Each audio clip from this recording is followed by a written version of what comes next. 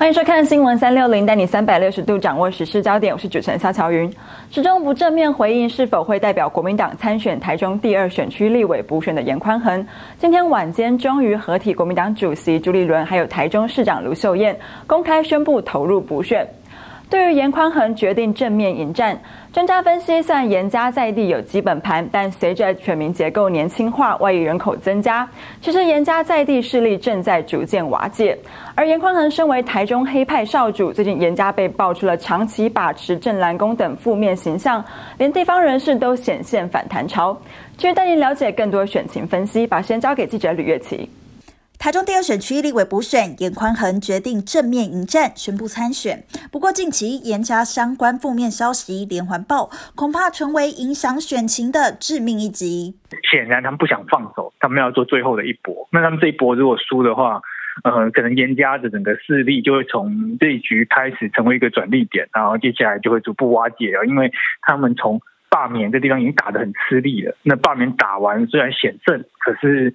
如果补选没上的话，那就像最近这一两个礼拜以来，严家这些负面新闻啊、欠债啊，然后等等这些问题曝光了之后，他们形象是比以前更差，很讲道义的江湖大哥的形象已经荡然无存了。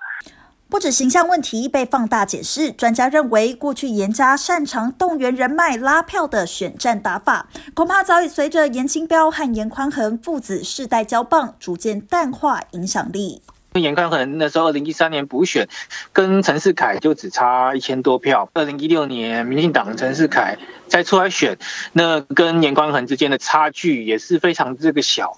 那显然呢是说，其实严清标他过去累积的一些地方的实力，到达他儿子这边的话，已经受到非常大的影响了。过去大小选举都无往不利的严家，如今面临挑战。专家解读，地方民意对严家长期把控地方势力也产生厌倦心理。显然呢是说，这有点公权力哦，跟政治还有宗教，跟他地方上面的这些势力相互结合。那有些地方人士是表示厌倦啊，因为并不是说所有地方人士在这个过程当中都有拿到严家的这些好处嘛。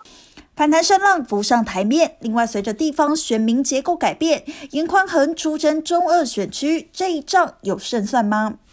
最近这几年，乌日那边慢慢发展起来，很多外来移民，包含中科那边的发展，整个选民啊结构有所松动跟改变。打到这局来讲的话，严家要去胜选的几率会逐渐的下降啊。这大概就是还是五五坡的一个局面。毕竟他们原本有的势力还是在嘛，但是已经跟一两个月前大家所想象的那个状况有非常大的落差了。立委补选延烧，民进党派出前立委林静怡，国民党则由严宽恒加入战局，两方布局大致底定，势必又是一场蓝绿之争。记者吕月琪采访报道。严宽恒宣布参选，国民党也总动员站台相挺，但严宽恒却始终未能够正面回应欠债疑云。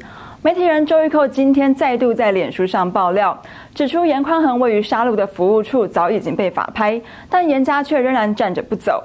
另外，媒体人黄阳明也在脸书上贴出严家的债务清单，更写下国民党能够罢免成功，不表示就能够选赢。而这次立委补选受到全国瞩目，严家势必会接受比过往更严厉的检视。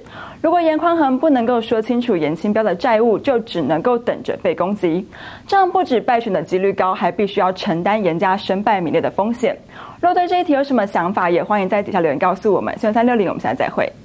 等一下，先别急着关掉，记得帮我们订阅、按赞、开启小铃铛，锁定更多新闻议题。